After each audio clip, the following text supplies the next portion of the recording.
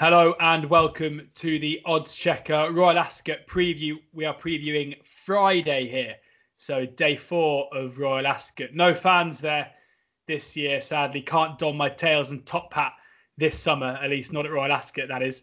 Um, but I'm joined by two experts here to try and steer you towards some winners on the Friday. We've got Odds Checker's newest tipster, Daryl Carter, who provides a daily nap exclusive to the Odds Checker app. How are you doing, Daryl?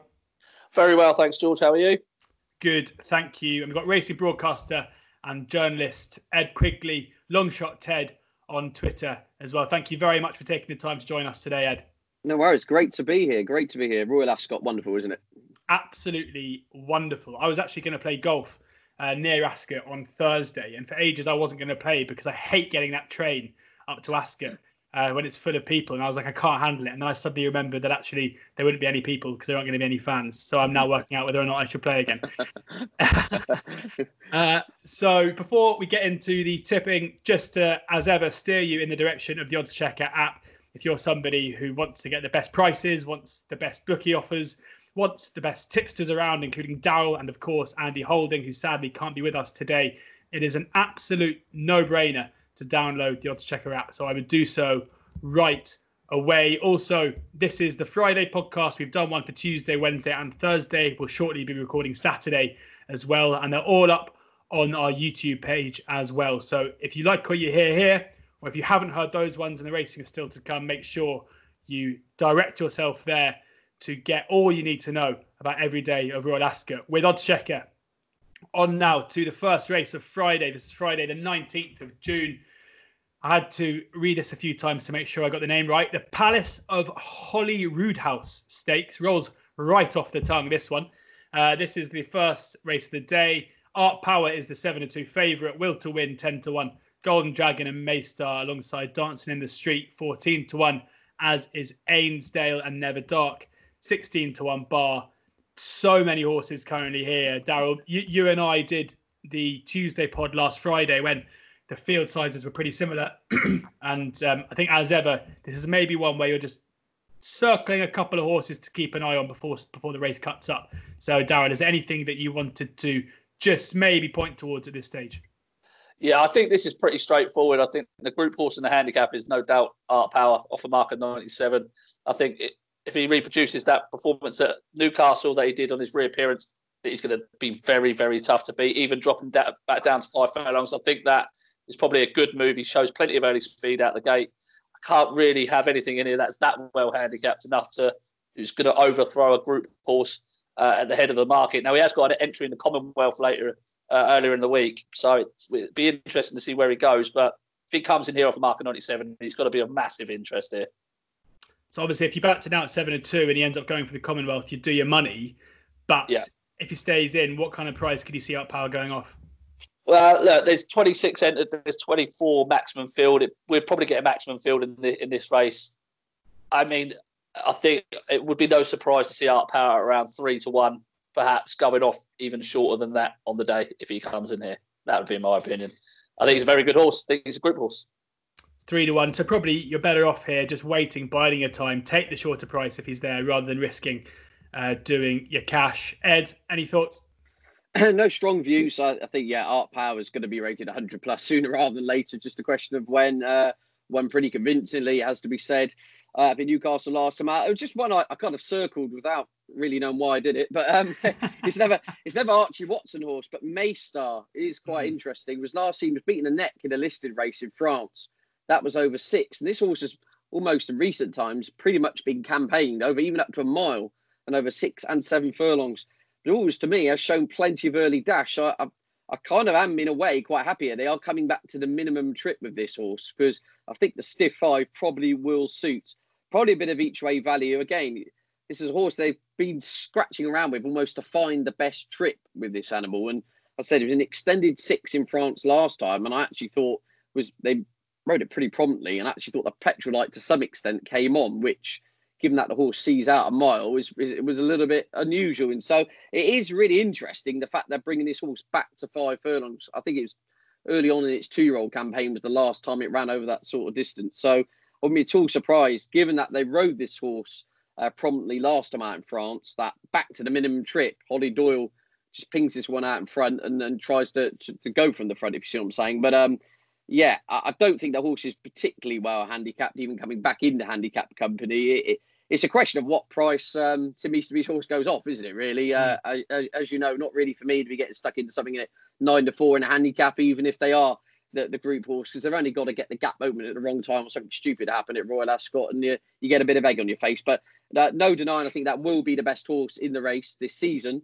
On the day, perhaps uh, Maystar. I'm just am drawn by the fact they've come back to five. The horse is obviously showing them plenty of speed at home, and I say, given the Archie Watson team are arguably the most informed yard in in the country at the moment, uh, that would be my tentative each way play. I think Andrew Balding would have something to say about that, but but I get your point.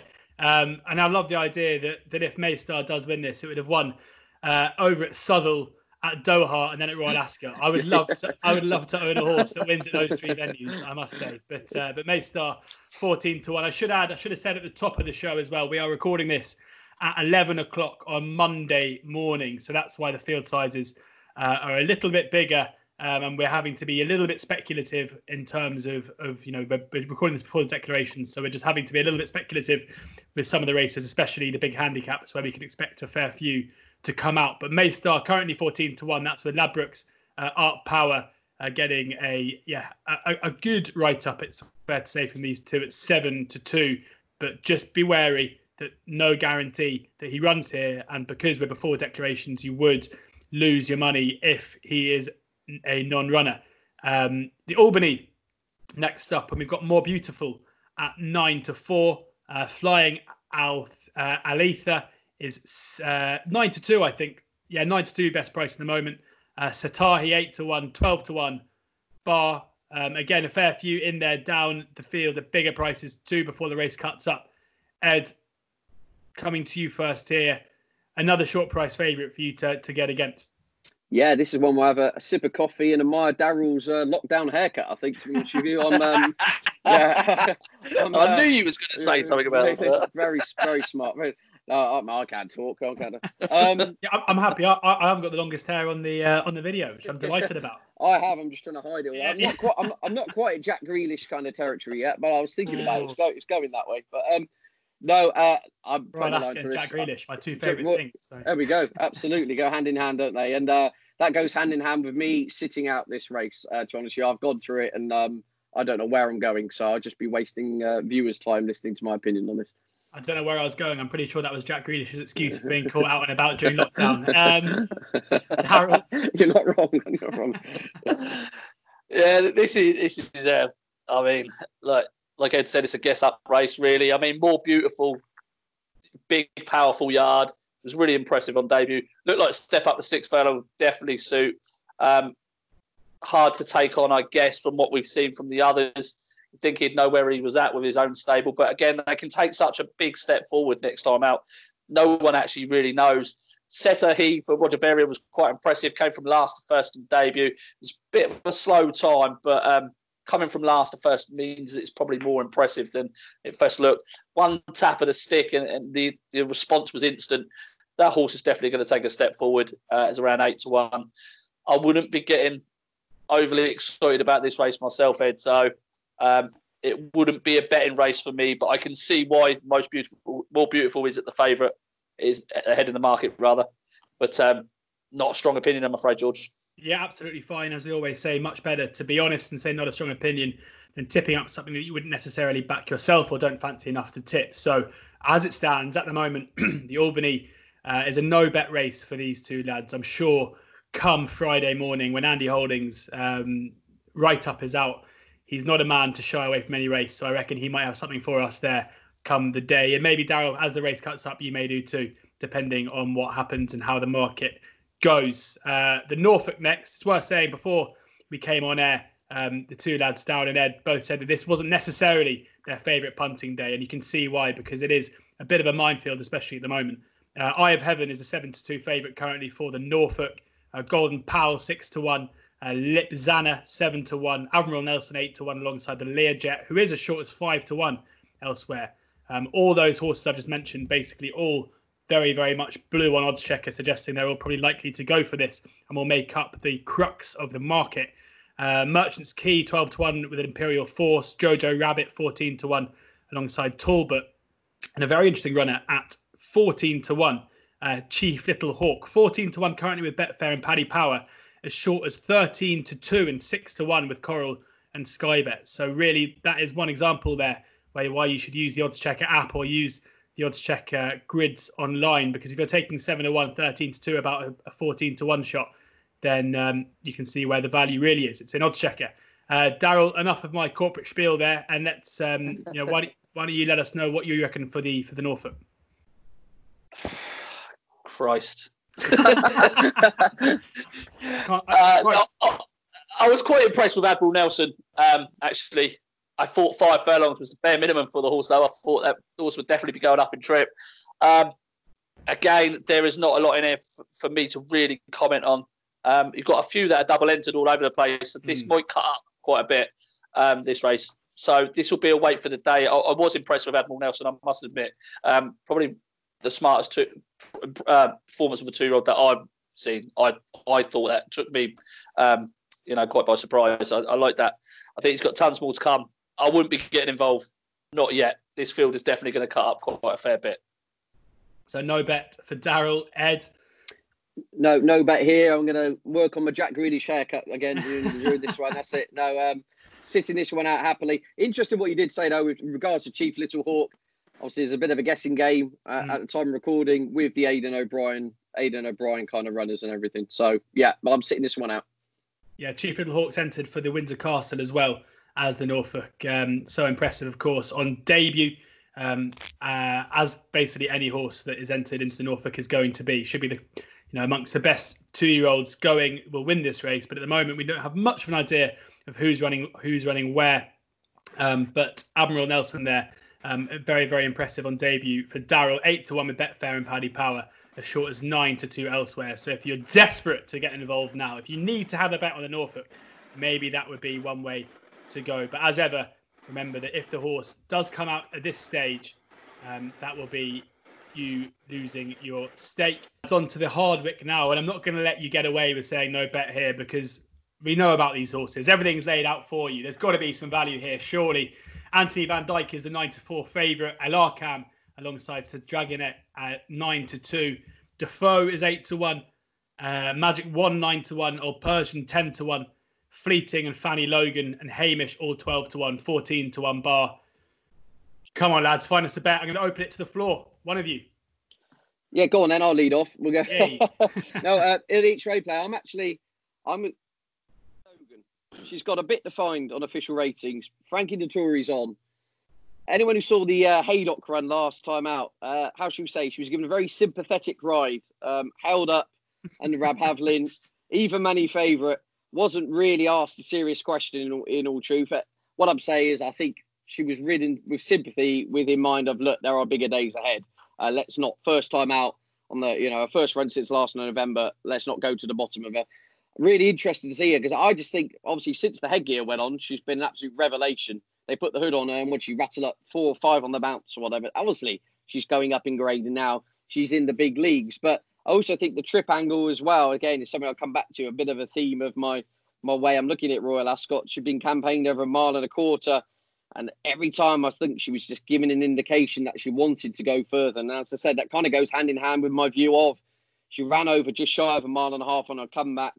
It was her first time at that trip. It was her first run for, you know, seven months or whatever. I just think that was a bit of a, it was a, a, nice prep run in, in, in all honesty for this. As I said, on official figures, yes, she's got a bit to find. She's got to find 10, 12 pounds. Obviously, she gets the fillies allowance.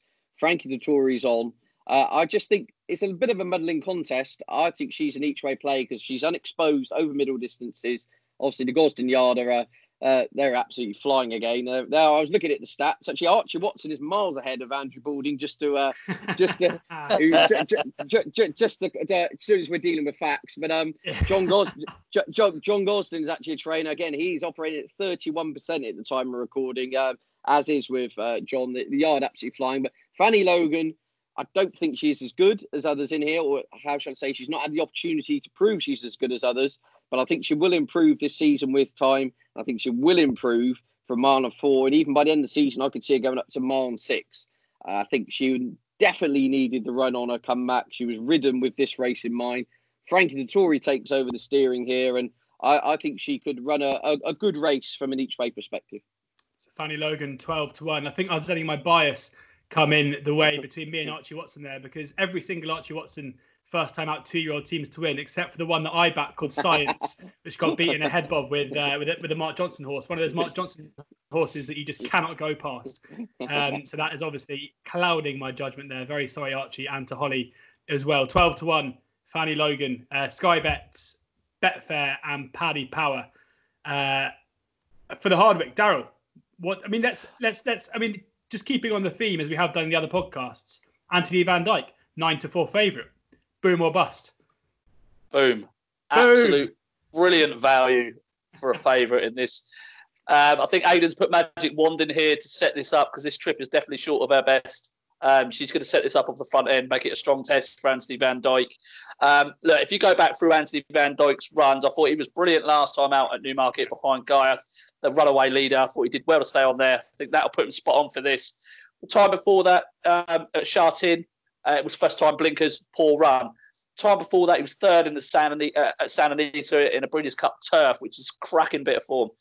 Time before that, he's running over a mile and a, a mile and a quarter, too short behind Magical, even though he ran extremely well, beating only two and a half lengths. Time before that, he ran poorly at Ascot um, behind Enable, but that was first time cheek pieces. Then you're behind. Then you go behind that and the, and the Irish Derby, and uh, he was beaten six lengths by Sovereign in one of the weirdest races you'll ever see in, in your life. Um, and he was held up well off the pace. Before that, he's in, he's won the Derby. Look, there's plenty of excuses for him. Mm. I think. I think he he should be winning this. If he doesn't win this, there's no no excuses for him. He's had the excuses with the headgear and the shorter trips. He's going to be spot on here. He's the top rated in the field. He's still improving. He's going to have pace guaranteed. There's just a lot to like about Anthony Van Dyke, and I think he should be shorter than the nine to four. To be honest with you, um, Elarqam's interesting for me though.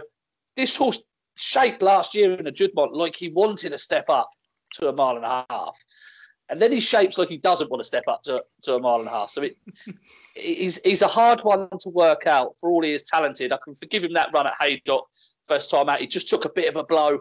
North North come up side of him, and then he, he ran on again. But I think Anthony Van Dyke at, at, nine to four, he will not be nine to four on the day. Not da- a Daryl, chance. Daryl, you're not you're just worried he's becoming an excuse horse. Like every race, there uh, seems to be an excuse for him. Like you see what I'm saying? Like no doubt he's got yeah, class, but yeah, I see what you're saying. But I think there's valid reasons. I think he obviously doesn't like headgear, you know. But if you look at his runs over this trip without headgear, mm. would any of these finish third in the Breeders' Cup turf at Santa Anita? No. Um, you know, it's run behind Magical at Leopardstown uh, last year in the Champion Stakes. You know, he wasn't beaten far over over a trip too short. I think if you look at his runs over a mile and a half, I think they're they're plenty good enough to, to be winning this. This is also a drop into Group Two company, so I think there's plenty to like. I really do. And I hate an Aidan O'Brien favourite. as, as, we, as we found out. Uh, yeah, so nine to four. Anthony Van Dyke is at the moment with Ladbrokes and Coral and VBet as well. Um, so nine to four you're getting at the moment. Daryl thinks that's cracking value. Elarqam gets a positive mention as well at nine to two. And um, Fanny Logan, the one for John Gosden at 12 to 1 for Ed. Uh, the Commonwealth Cup now, Pierre Lapin is the 4 to 1 favourite. Uh, Kimari 8 to 1 Wooded 10 to 1, Millisle 14 to 1. Very disappointing in the Guineas. Uh, final song 16 to 1, Mum's Tipple 16 to 1. Uh, and a couple of horses further down the market, which I'm seeing now. I think Golden Horde and Lope Fernandez currently showing at 16 to 1, but I don't think that price is going to be around by the time this podcast goes out because it's much, much shorter elsewhere. So they we can add those into the ones I mentioned at the top end. Um, Daryl, what are we thinking? Uh, tr- very tricky race. Uh, quite a, quite a good looking race actually um, for the Commonwealth Cup.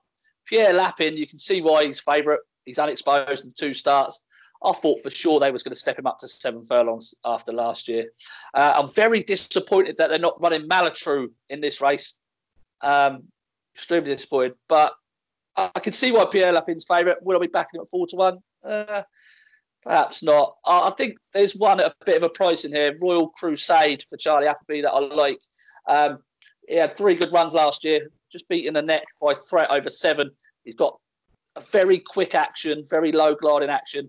Um, I think the drop back to um, six furlongs is definitely a big positive for him. I would be leaning towards him at this stage at around 16, 20 to 1. Lope Fernandez in there, another Aidan O'Brien but I couldn't have him. He just doesn't want to do it. He's high head carriage.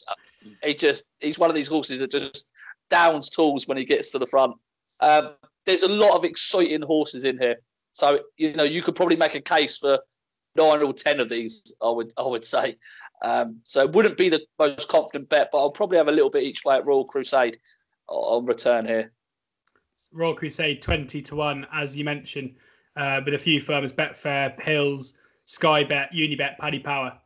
Uh, so yeah, that is for Royal Crusade. Ed, the Commonwealth. Who's the Commonwealth winner?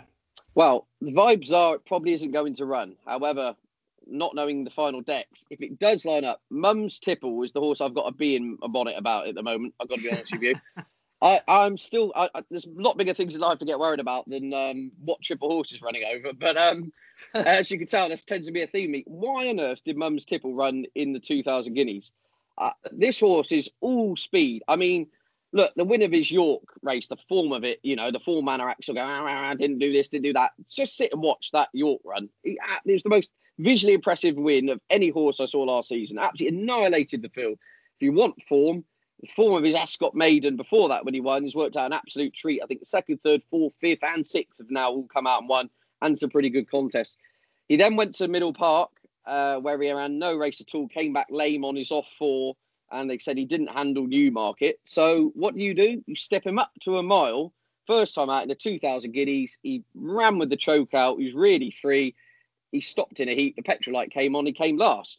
Uh, the you know, I was looking at the what was said to the stewards. He hated the track. Uh, words to that effect were basically said, and um, I'm confused because you listened to Richard Hannon Jr.'s comments only six weeks ago. It was the comment. All things revolve around the Commonwealth Cup, and considering they had Threat in the yard, who looked the natural horse to step up to one mile, mm.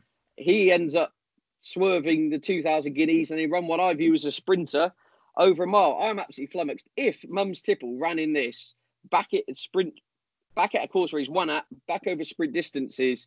If you knew he was lining up, we'll put it this way, he wouldn't be anywhere near 20 to 1 when he lines up. He will crash. But the vibes are they're probably going to give him a bit more time to get over Newmarket, I gather. But it just seems a shame to me because this race looks absolutely tailor made for him. Uh, just that York run was scintillating. I'd just love to see him back at six away from Newmarket because he clearly does not like that venue do, do, we have any idea why why he ran there? I mean, as you say, just looking at the comments, Richard, Richard Hannon saying he didn't appreciate the undulations in the track. Well, I think we saw that in the previous run as well, didn't we? So, I mean, what would you, I mean, what, what would you reckon is the reason for them? Basically, what I'm trying to say is, are you put off at all by the yard decision in order to step them up and chip the way the way they did? I mean, I'm not privy to the information of why that, how that came about, whether it was known as decision, uh, a kind of joint decision, how that came about. But I, I just find it quite strange, given that it almost contradicts the previous quotes of what the trainer was saying. And there's obviously a reason why they've gone and done that. And uh, but it's also just got so much kind of raw speed. Uh, I, I, didn't. At what point was he ever going to stay, see a mile out? If you see what I'm saying, just my my my point of view. So if he did come back to six, I wouldn't be too worried the fact he bombed out um, in the 2000 Guineas because he was beaten so far out. He didn't really have much of a race in the end, to be honest with you. So if he runs in this, Mum's Tipple, I will be backing him. But uh, I say the vibes are perhaps they're going to swerve this and wait for a later target. But that, that would be my bottom line on this one. The exchange market sometimes tell us a little bit about whether or not horses are going to run. And the last price that Mum's Tipple was matched at, it was 14. So mm. somebody somewhere thinking that maybe the plan is still the Commonwealth Cup, but as you say, not an ideal prep run in the 2000 Guineas, uh, not a suitable one at least, uh, a couple of weekends ago. Uh, on now to the Queen. Actually, I'll just give you the prices there as well. Mum's Tipple, 16 to 1 best price with Bet365, uh, as short as 8 to 1 uh, with Betfair Sportsbook. Uh, the Queen's Vase now. The Queen's Vase and Berkshire Rocco is a 7 to 2 favourite ahead of Al Dabaran, 5 to 1. Santiago ahead of Noble Prize. Uh, Dawn Patrol eight to one. Bournemouth Pride twelve to one. Uh, on guard, I mean, I'm not going to say he's not going to run because when I did that last year with Blue Point, um, we all know what happened there. But but it's all I'll say is there's 14 to one available and there's four to one available, and I'm going to leave it at that. Uh, order order of Australia 14 to one, 20 to one punctuation. Uh, yeah, Ed, I'll, Ed, I'll come to you here to start with. Anything taking your fancy in the Queen's Vase? Um, was, there was just one I circled after his run last time, and that was Sound of Cannons for Brian Meehan. He ran in the uh, ran English King in the Lingfield Derby trial, finished fourth. Mm. Look, looked like a horse who just absolutely hated that venue. Obviously, Lingfield being almost chalk and cheese compared to Ascot in terms of its characteristics, and uh, looked awkward, kept changing its legs, didn't like the twists and turns, and but to his credit, I mean, looked like he was going to have a race with the ambulance for last at one point, but did actually pick up and, and, and show some kind of a bit of mettle, I think it has to be said, in, in the closing stages. Was beaten 10 lengths in fourth, don't get me wrong, but looked like a horse who, A, wants to come as far away from a, a tight track as possible, and B, I think a mile six, again, the trip angle here on a more galloping track would bring out improvement. And official ratings suggest the horse isn't you know, the, the official assessor took a fairly positive view of that. Uh, I mean, you've got Al Dabaran 107 and Berkshire Rocco, obviously uh, 104. This horse has been given a mark 103, if you know if it were going to go in the handicap company. So not that far off these, and I do think again, unexposed or up in trip would bring around further improvement. Uh, again, we don't quite know the exact field size and who's lining up here, but Sound of Cannons is definitely a looks a proper stare in the making, and uh, just just hated Lingfield last time out. Mm. Totally the wrong track for him. Sound of Cannons, twenty-five to one. Enjoying Ed telling trainers they've sent their horses to the wrong places. It's what this podcast is all about, lads. Um, you won't be having me back again. You won't be. Yeah, no, we will again. be. this, this, is what we like. normally, I try and book people when we're doing it around the table with Andy, who, who are going to take Andy on. We, we want conflict. Uh, when everyone's agreeing, it's not fun the wider, the wider point was it was a fact finding mission, wasn't it? Yeah, yeah, yeah, of course. So you essentially go there to find out was was Sound of Cannons an Epsom horse, and in terms of class, no, and in terms of like the idiosyncrasies of the track, found out no. The fact they're going up massively in trip onto a galloping track is pretty much that race answered everything they need to know in terms of what at least what type of horse they've got on their hands. And so yeah, I think Sound of Cannons from each way perspective again. I say it's a bit unsure as to the makeup of the race, but wouldn't be at all surprised that that horse uh, finished in the frame at a big price. Sound of Cannons, 25 to 1 with Unibet. Daryl, what do you like? I actually I actually agree with. Yes. Oh, what's Hello. Yeah. I, said, I, said I, I, said I want conflict, but when you're both agreeing on a 25 to 1 shot, that is absolutely fine. Yeah, no, no I do agree. I, I, agree with everything you said. Um, I really do. I've got nothing more to add to it. Is that, I think those yeah. Do you agree, or have you just forgotten to research this race and you thought to yourself, I'm just going to agree with whatever it says here? no, no, no. Honestly, he, he was he's been in my tracker since his run at Haydock um, behind Power Driver, and always on the soft ground. I've always thought that step up and trip would certainly suit, and I really fancied English King when he ran the other day. But of Cannons really did catch my eye. He didn't look like he had. There was a few horses that day that didn't handle Lingfield at all. Of Cannons was one of them. Um, the other were, was West End Girl and um, Miss Yoda. There was three horses that really didn't handle the track that day. So um, I, I, do agree. I, I, couldn't believe he was such a big price. Really, if you forgive him that, he's progressive. Uh, his racing post ratings are progressive. He's going to have more to come um, over over this sort of trip. Uh, and I think those at the top of market are, are worth taking on. Al Dabaran, I feel like they're clutching at straws a little bit with this horse now. Mm. I said before, he's got such a short, rabby stride he either wants a, a, drop back and trip or very soft ground for me. Um, so I couldn't have him. You, I mean, you're you're struggling to say these Aidan O'Brien runners are, are at the top of his list. I think um, at the at the moment, uh, but Berkshire Rocco for me, it probably sets the standard, but it's not high enough to to be backing him at a short price of seven to two in this field personally. So I, I, I agree. I mean, 25 to one about Sound of Cannons each way play there. There's nothing wrong with that in a race that could throw up any sort of result really with a lot of lightly race horses. So yes, George, I do agree.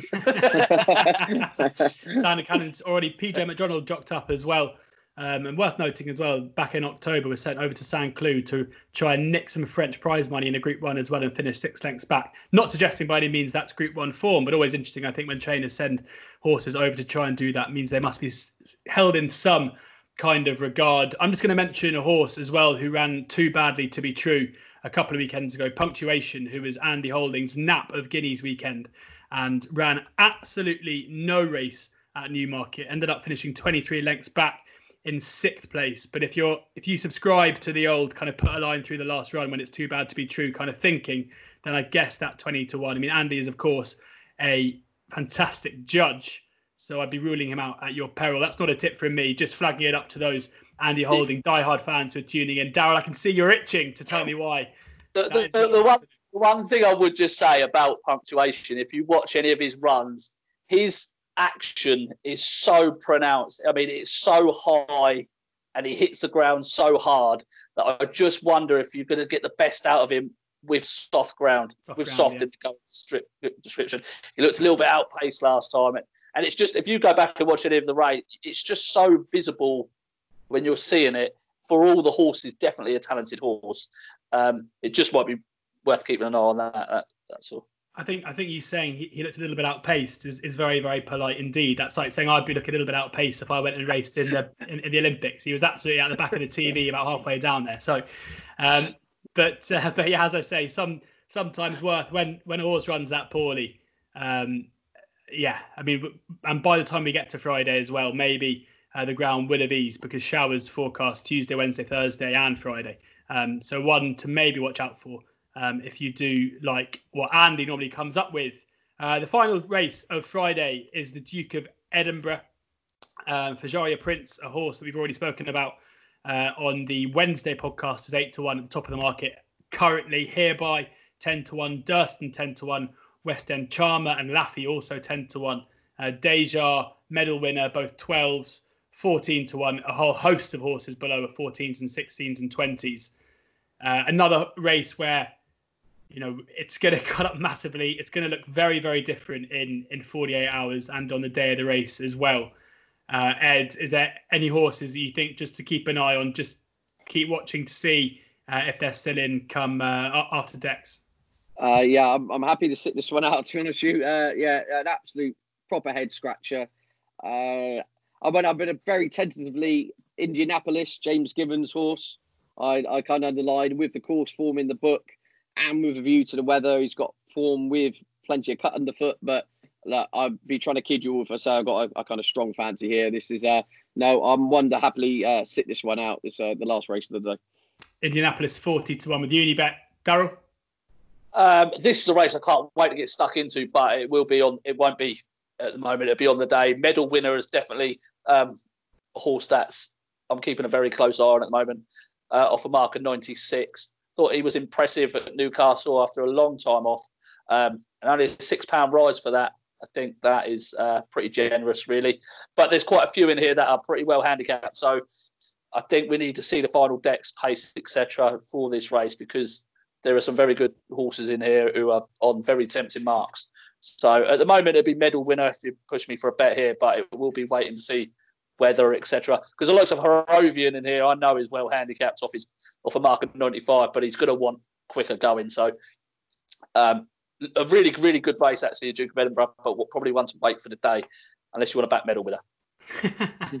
yeah, so keep your powder dry. Unless you want a back medal winner, 12 to 1 from Daryl there before I let you go, I know this is a tough question given the you know the, the state of the market at the moment, but as it stands, what's your best bet for Friday? What's your nap? I'll go um, Anthony Van Dyck nine to four. Ed.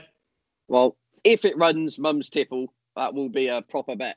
Uh, in the absence of Mum's Tipple, I'll take um, Darrow on. I'll go Fanny Logan each way. I think Frankie will try and wind that from the front, and I'll be disappointed she's out the frame because I think she's unexposed over middle distances. Brilliant. Thank you both so much for giving us your thoughts on what is a tricky, tricky day, especially at the moment, punting wise, uh, at Royal Ascot. We've recorded already the first, we recorded Tuesday last week, we've recorded Wednesday and Thursday. This is Friday. We're going to do Saturday later in the week as well. But thank you very much to Daryl and to Ed for, for joining us. And make sure you use the oddschecker site make sure you download the app for all the best prices available uh, the best offers the best free bets the best everything you can possibly want daryl uh, has his exclusive daily nap every day not just during royal ascot every day on the app as well so Very importantly, download it to ensure that you enjoy your racing. Most importantly, please gamble responsibly.